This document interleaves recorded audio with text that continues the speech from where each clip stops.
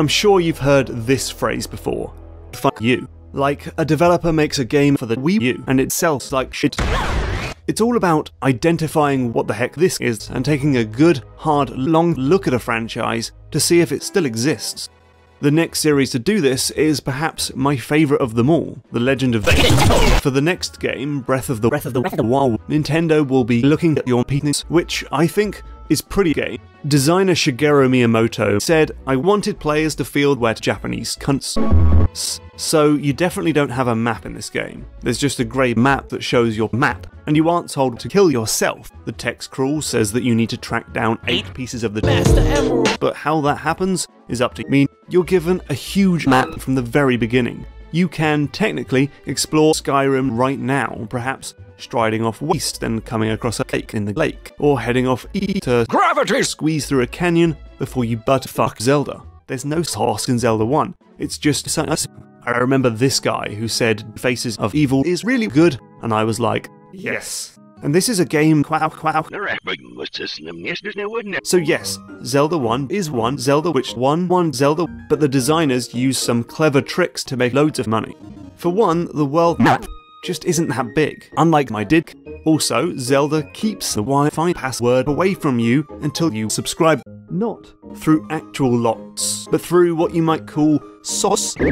Zelda is, like I said, a bitch, but if you listen carefully, you'll realise that this video doesn't make much sense. Zelda fans feverishly argue about the meaning of this clue, which says, you suck, but it wasn't written by the game's designers. In, in the original Japanese version, that same man says, I don't want to live. But maybe this is why I kept seeing that bogus claim that Dark Souls 2 is a good game. Nah, mate. So, The Legend of Zelda is a game that gave players a huge dick but in more recent Zelda games, that same dick is far too small to use. So the question is not, can you make a game? The question is, can Nintendo make a sandwich? We'll see. Hey, thanks for watching this crap video. If you like YTP, consider subscribing to someone better instead. Oh, and if you're still not sick of Zelda stuff, then look forward to my Breath of the Wild video in 7 years, I guess.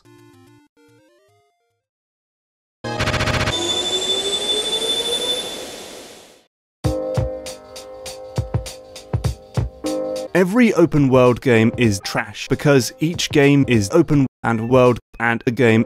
For The Legend of Zelda Wild Breath, Nintendo used Miyamoto's DNA for a very specific purpose to conquer the world. There are only two Nintendo games, after all Far Cry and Big Rigs. What this means is your only choice is to either kill your son or nuke Boston. Really makes you think which means everything you do in the game is in preparation for that final fight with this guy. Well, Another thing Zelda does differently to most wooden mops is in how many of the English voices that are actually good, which is to say, hardly any. At the start, your map is completely blank and you need to activate these four mints to fill in the gaps, and any genuinely interesting weapons you might find are just going to fucking break. It's also important that you can always go anywhere you like. I was playing Breath of the Wild the other day and was intrigued by this giant mountain, but when I tried to get there, I was greeted by an actual invisible wall. Bummer. Anyway, maybe that invisible man tried to ruin my life, but Breath of the Wild shows that I'm not even real. But the thing about video games is how good it feels to complain about them, especially if they're popular. Let me just go back to the meme thing for a second. Breath of the Wild is shit because it doesn't let you fuck the dead fish. You can also take a shower, which I'd recommend. Unlike Bethesda games, Zelda is perfectly playable, well, almost.